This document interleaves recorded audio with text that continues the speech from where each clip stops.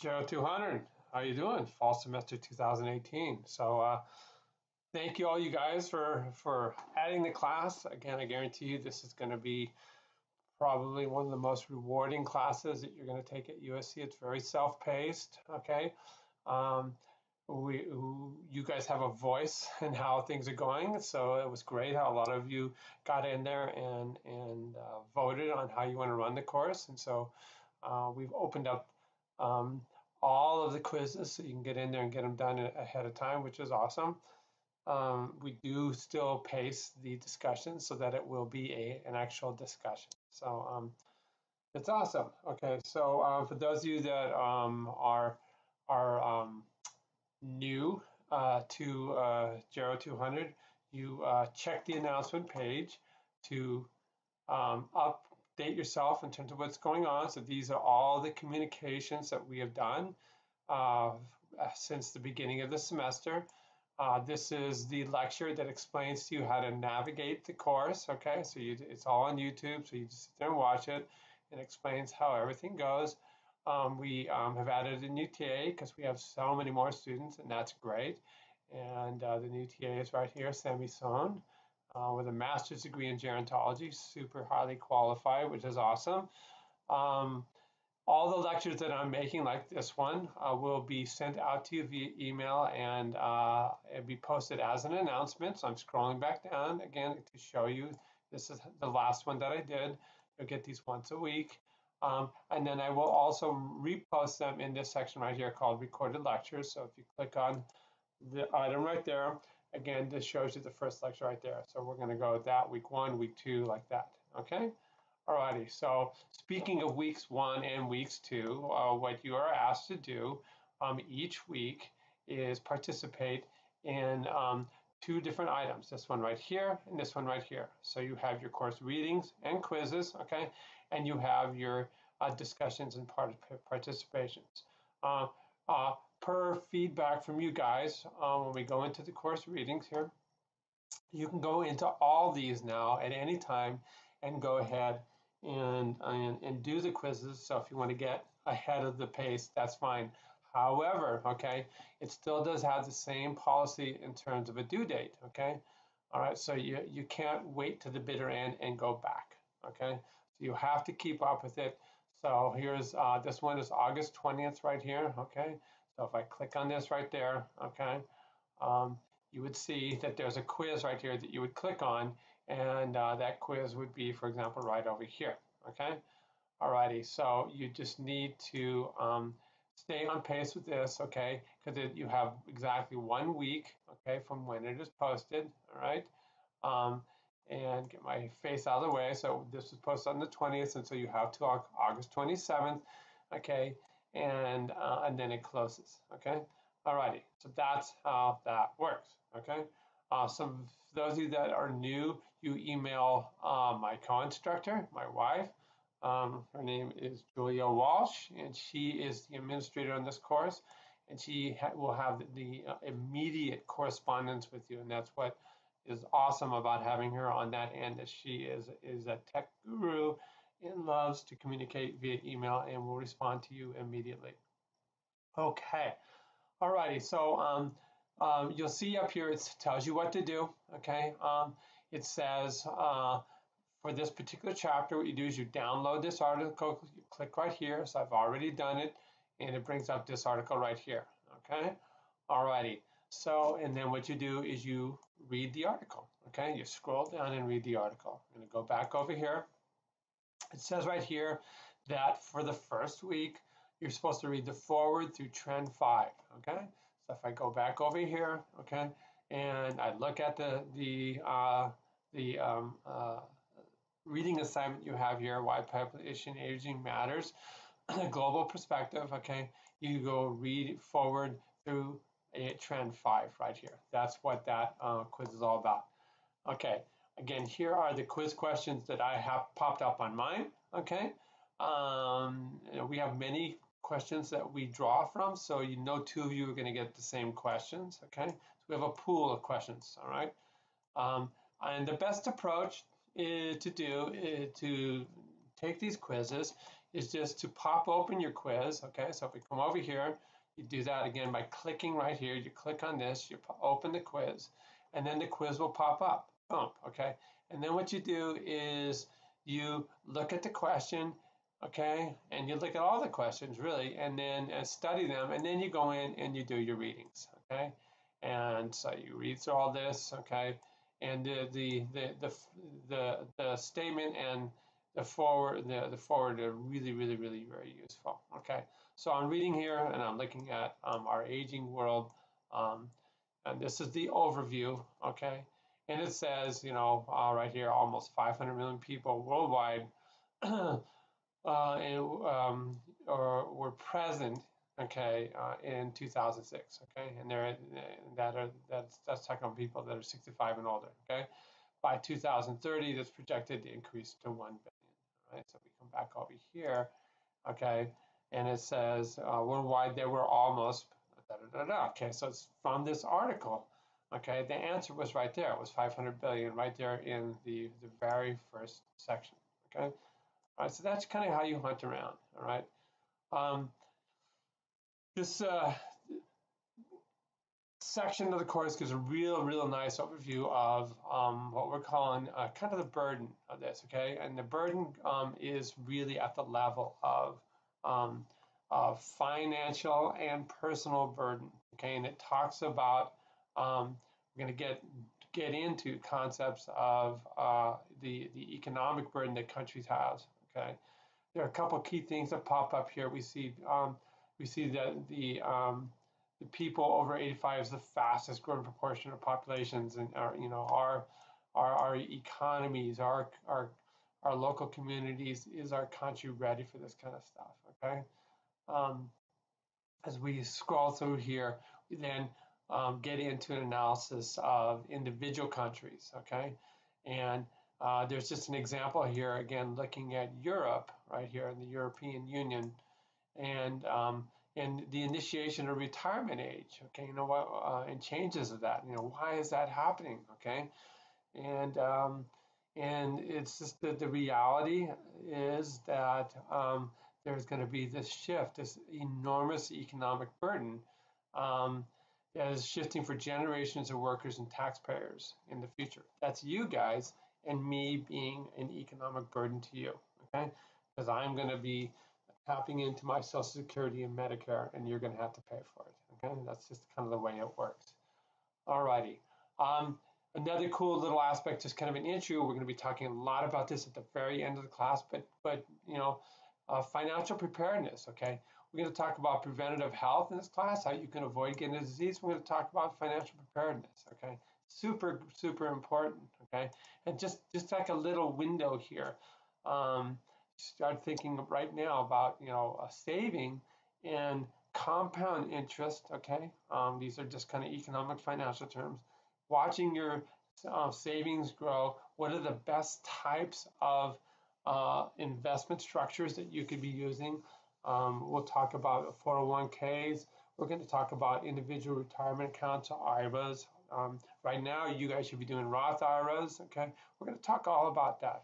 But just to get a, a hint of what, what would happen right here, um, a 40-year-old worker who begins to save $10,000 per year will have a accumulated wealth of $700,000 a year by the time he's 70. And this just assumes a really, really crappy interest rate, crappest growth rate of 5%. You know, the last year, my investments have been growing at about 12%. Okay. All right. Um, you see that if you start early, okay, like after just after you graduate, 30 years of age, then all you need to do is save $5,500 per year instead of $10,000 per year to get this to this same $100,000 level, okay? Uh, so just think if you're saving maybe $10,000 a year uh, starting at age 30, you know? So you can look at compounding and you can expect a better return on the investment than 5% as well, okay? Um, so, you know, you'll be talking if you start thinking about this kind of stuff right now. Uh, by the time you're seven years of age, you know, you guys could easily have two, three, four million dollars put away. Okay, and that's that's an important concept. All right, so back to uh, what we're doing here. Okay, again, looking at that first question, okay, um, worldwide, there are almost X million people who are age 65 and older, and it pops up again right here, okay? Today, almost 500 people are 65 age and older, okay? 8% of the population. And you're just gonna have to sift through this, okay? Um, and, and this is the best way to deal with the quizzes. Now, the whole point of this is not to just answer quizzes, but it's obvious to learn and the impact of having an older population.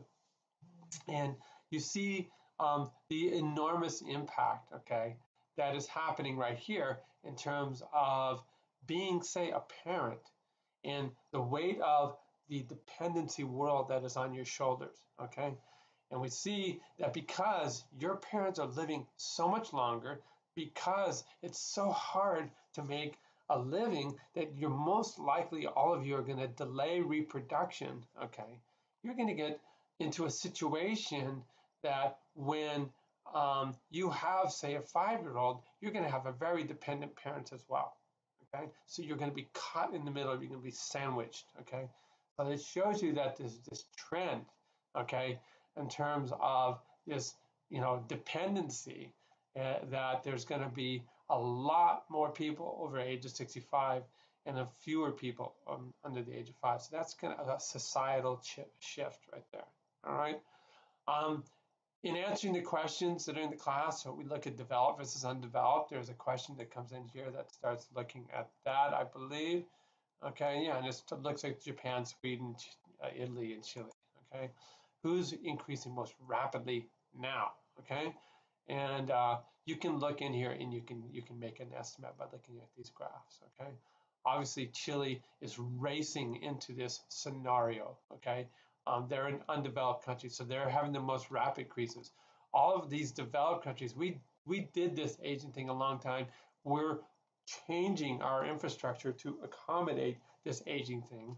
Uh, we're going to spend a lot of time looking at Japan okay? Uh, because um, they got there first, okay? um, and and how you adapt as a society and economically, all righty? Okay, um, looking at life expectancy, looking at changes here, looking at gender differences, okay? Um, women, men tend to be exposed to a lot more environmental hazards. They tend to be lunatics and do crazy stuff, and they die off earlier, okay? Um, that's the biggest thing right there. Also, our exposure to environmental standards sets us up to have a higher risk for certain types of diseases. Okay. Um, alrighty.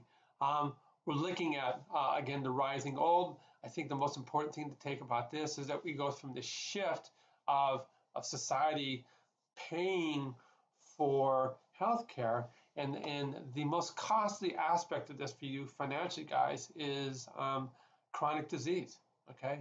Uh, somebody that suffers from Alzheimer's disease, um, they you can expect putting them into, for example, uh, a specialized assisted living facility that is designed for Alzheimer's care.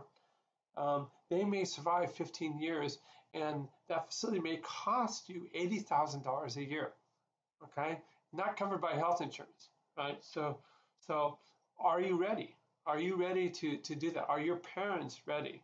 Okay, these are all different aspects. Okay, or um, you can look at the cost of healthcare in the immediate. Okay, um, we're going to talk about um, uh, a lot of diseases. We're going to focus in on cancer in this class.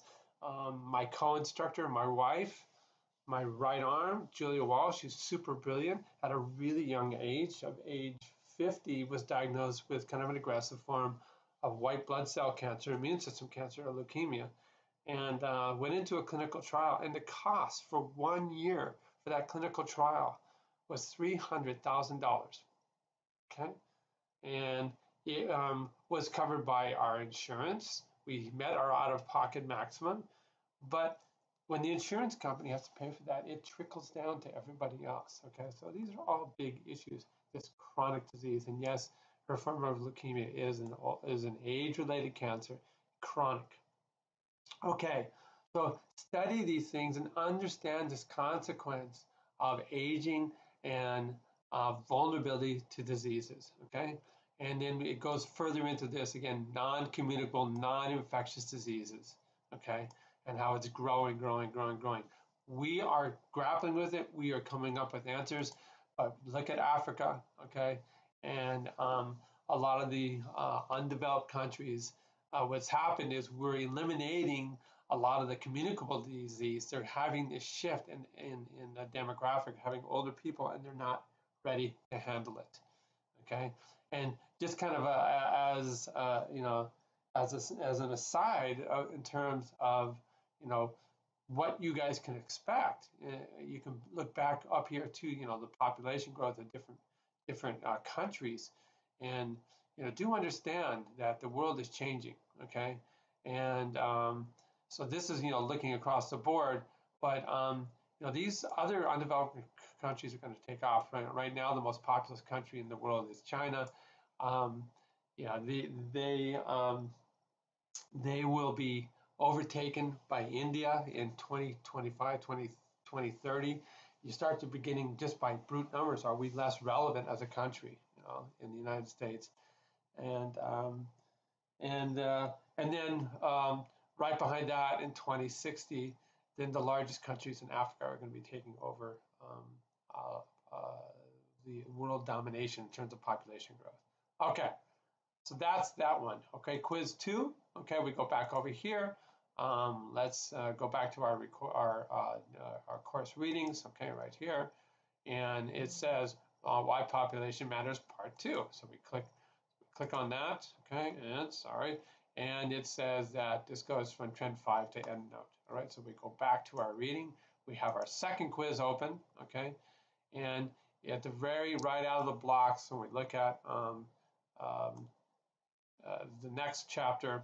Okay, and and it starts talking about things like living arrangements, okay? It starts talking in family structure about divorce, okay? If we come right in here, the very first question is all about divorce, okay? Um, mutual fund investment is the second question, is the second quiz. So I would read through all this, okay? Um, since it's investing, I'm gonna look for uh, the chapter, okay? So this is talking about retirement patterns, that's getting kind of closer okay? Um, that's talking about pensions, okay? That's another thing we're going to talk about, okay? And then we come down here, um, pensions. Now, pensions are, are dinosaurs. They're disappearing. We're going to talk about that. Uh, only government employees get pensions nowadays. Teachers, okay? All right. And then um, when we get down here into the economic challenge, then boom. So the answer to this question about people that are doing mutual funds is right here. I come back over here and I look at that question. Um, and it says uh, this country has the highest number of people investing in mutual funds. I go back over here, I say Austria, Spain, Germany, Sweden. Okay. Um, and we see right here Sweden, okay, has the highest one. Okay. Right. That's how you go about doing this, guys. These are all, you know, you guys, a lot of you are business majors. This right here, this is huge. Econ majors. Um, uh, this is all something that you should really, really be focusing on considering, and it's the impact of aging. Are you prepared as an individual, all right, for a comfortable life? Um, is your community prepared, okay, um, in terms of what they're going to do with this age wave, as we call it? And what about countries, okay?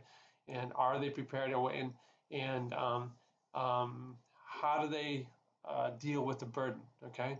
So we're looking at uh, right here, for example, uh, pensions. Okay, this is a guaranteed income. That's what a pension is, and and corporations have fled that because you can't, you cannot guarantee an income anymore, and that's why they ask people to to um, orchestrate their own retirement to through what's uh, their own individual retirement plans. These are called defined contributions. We take your own money out, and you manage it yourself. Okay, the government is no longer responsible for you. All right.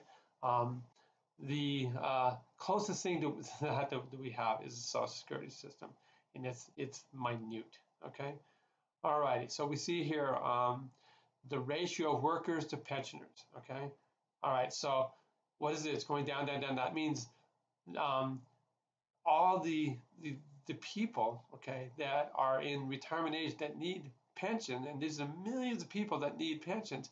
There's fewer people paying into it. That means those people gotta pay more.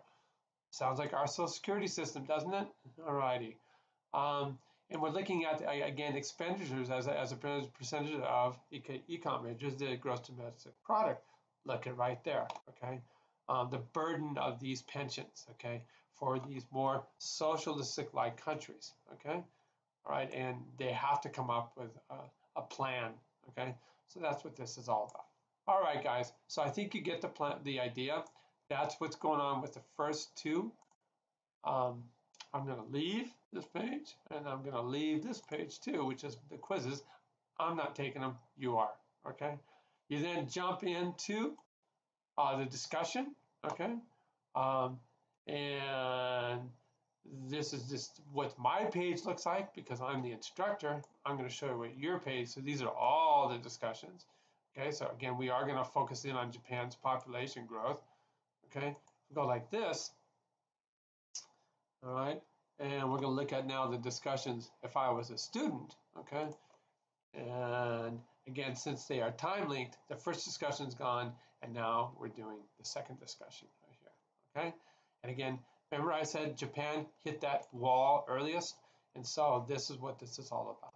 Okay, all right, guys, um, you're doing a good job and I look forward to seeing you guys go nuts on discussion right here. Again, um, you go in here, you do a quick reading of this PDF file, look at the videos, and you tell us what it all means based on the prompts that I have right here. All right, so these are very specific prompts. You, uh, you have to address what I have said right there. Okay, and there it is. There's the article that comes up right there. It's a really, really good article.